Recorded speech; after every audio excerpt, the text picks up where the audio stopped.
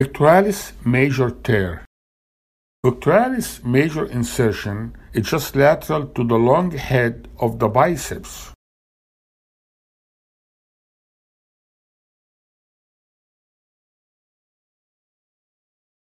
Here is the insertion of the tendons in the proximal part of the humerus. You can see medial to the biceps the latissimus dorsi tendon insertion and medial to the latissimus dorsi is the teres major muscle insertion.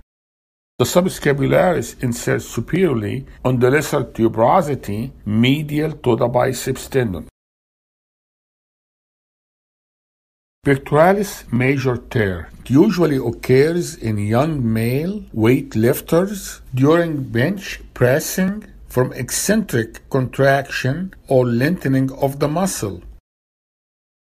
Usually there is pain around the shoulder area and the patient will feel a pop in the shoulder while performing the bench press.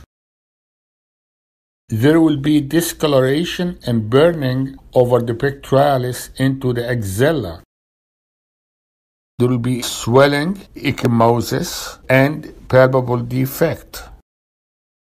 The patient will have loss of contour of the axillary fold. MRI will confirm the diagnosis, will localize the site of the tear, and will also differentiate between partial and complete tear. Tendon avulsion is the most common type of injury to the pectoralis major muscle, and the tear is usually a complete tear. Hemorrhage and edema at the level of the proximal humeral shaft indicates a pectoralis major tendon rupture.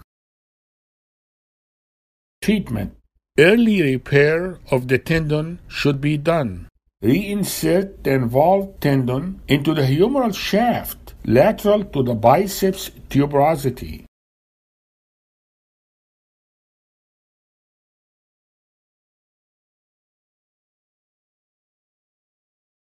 Chronic tears will need tendon graft, a more complicated surgery. The tendon is usually retracted and the outcome is not as good as in case of acute repair. Thank you very much. I hope that was helpful.